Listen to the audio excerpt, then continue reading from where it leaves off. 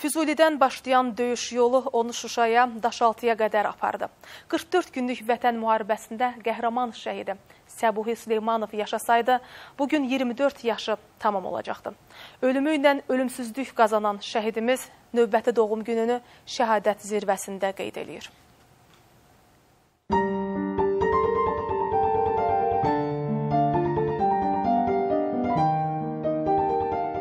Hərbi xidmətini 2018-ci ildə başa vuran Səbuhinin vətənə olan sevgisi onu gəldiyi yerə geri qaytarır.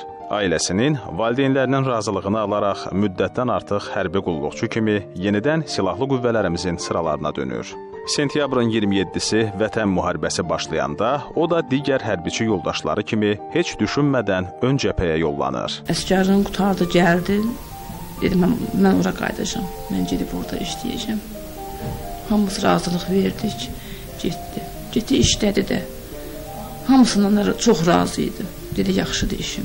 Müharibə başlayanda bir dünyaya gəlmişdi və avqust ayı idi. Gəldi.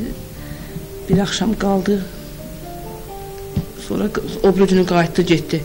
Dedim amma pis olmayın, yaxşı olacaq hər şey.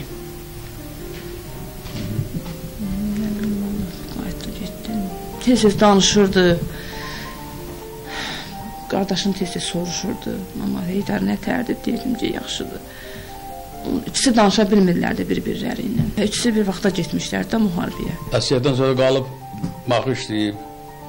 Sonra da müharibəyə getdi. Orada hamı razılıq edirdi, komandirləri razılıq edirdi ondan. Özdə münəvvərat asan olub. Səbuhi cəbhənin Füzuli, Cəbrayıl, Qubadlı, Xocavənd, Şuşa istiqamətlərində gedən qızğın döyüşlərdə iştirak edir və düşmənin xeyli sayda canlı qüvvəsinin texnikasının məhv edilməsində böyük xidmətlər göstərir. Son döyüşünə elə noyabrın 9-u Şuşa istiqamətində girir və Daşaltıda gedən əməliyyat zamanı şəhidlik zirvəsinə ucalır. Döyüş yoldaşları onun düşmən qarşısında qətiyyətli duruşunu qürurla xatırlayır. Səbuhi ilə biz Füzulidən Daş karyerin qarşısından döyüşdən birgə olduq. Ta Şuşa şəhərindən Daşaltı adlandırılan kəndinə qədər birgə yolumuz oldu. Daş karyerdən irəlilədikdən sonra Səbuhi ilə biz e, Daşaltı adlandırılan yerdə düşmənin canlı qüvvəsini məhv etmək üçün birbaşa döyüşə girdi. Həmin döyüşə girən zaman mən yaralandım. Yəni yaralanan zaman əsgər yoldaşlarımdan və digər döyüş yoldaşlarımdan, komandirlərdən ən birinci mənə kömək edən o oldu. Və onun sayəsində hal-hazırda da mən burada əyləşmişəm. O olmasaydı bəlkə mən hal-hazırda da həyatda yox idim. O vəzifə borcunu yerinə yetirən zaman öz həyatını heçə sayıb mənə köməklik elədi. Mən geri təxliyə olundum, çıxarıldım döyüş meydanından. Amma o isə yenidən düşmənin üzərinə hücum çəkdi. Allah qismət elədi, o gözəl mərtəbəyə ucaldı. Səbuhi telefon danışıqlarında tez-tez ailəsinə düşməni necə məhv etdiklərini, irəlilədiklərini danışır. Son danışığında isə anasından bir istəyi olur şəhidin. Oktyabrın 31 idi. Zənglədi, danışdı.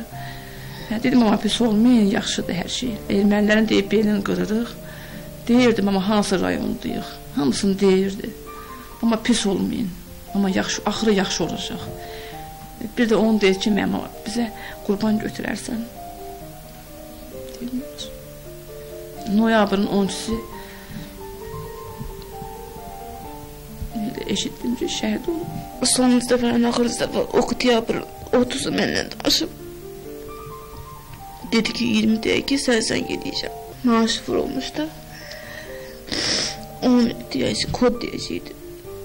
20 dəqiqədən sonra zəng elədim. Zəng çalmadı. Əlaqə kəsildi. Səbuhi Süleymanov doğulub boya başa çatdığı Ucarın Bərgüşad kəndində torpağa tapşırılıb. Ölümündən sonra vətən uğrunda və Füzulinin azad olunmasına görə medalları ilə təltif edilib. Şəhidin xatirəsini əbədləşdirmək üçün doğma kəndində onun adını daşıyan bulaq tikilərək istifadəyə verilib.